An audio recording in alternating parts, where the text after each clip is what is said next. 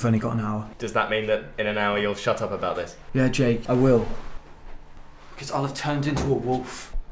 Do you not understand the gravity of the situation when I told you about it? Look at me!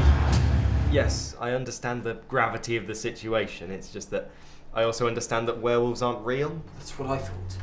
But since the incident, I googled it, and Werewolfopedia said there have been four separate sightings this year in England alone.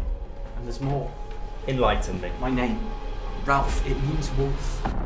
That's why everyone's been calling me Wolfie. Literally no one has ever. Prophecy. I was doomed for this fate. Well, if you're that worried about it, why not go into the woods so you can run free? You're a genius. No, that. No, that, that was a joke. Ralph! Ralph! Oh, for fuck's sake.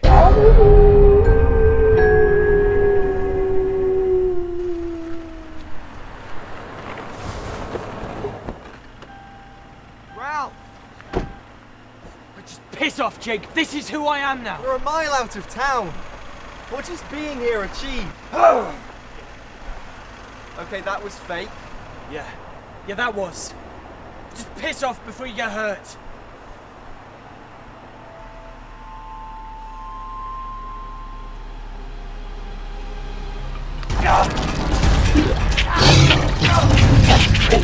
Oh.